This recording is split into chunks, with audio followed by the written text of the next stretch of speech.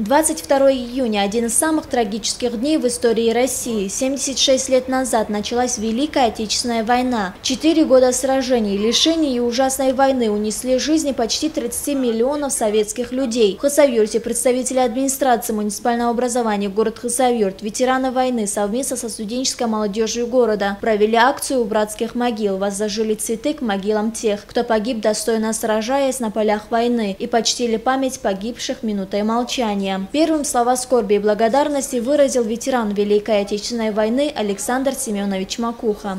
Мы не имеем права забывать эту войну. Мы не имеем права забывать всех тех, кто погиб за свободу нашей Родины.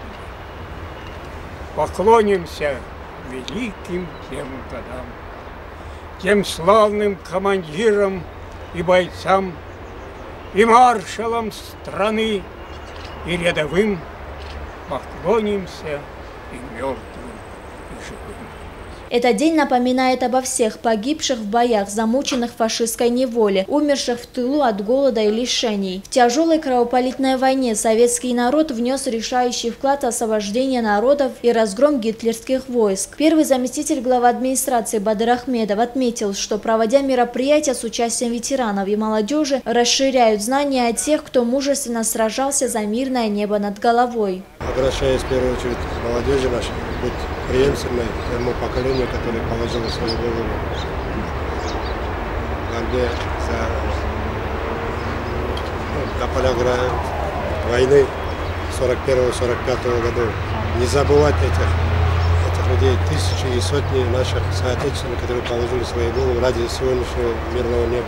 Студентка колледжа сферы услуг для всех присутствующих выступила со стихотворением военных лет, в котором говорилось о советском народе, стоявшем в полном смысле этого слова насмерть, защищая Отечество. Скорбная дата на нашем календаре.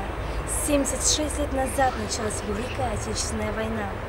Своим огнем она опалила каждую семью, принесла лишения и горечь потерь.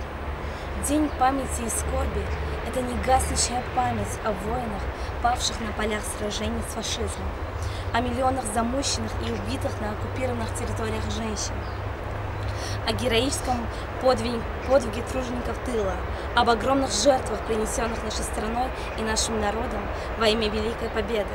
Далее, после возложения цветов у мемориала братских могил, делегация направилась к холму воинской славы, где также были возложены цветы у подножия вечного огня. Слова скорби выразили все присутствующие, так как начало войны для всех россиян – печальная дата. По поручению главы Республики Дагестан Рамазана Абдулатипова в День памяти и скорби были исполнены патриотические песни в хоровом исполнении. Бурлея Цамбиева, Самат Гакаев, информационная программа «Пульс».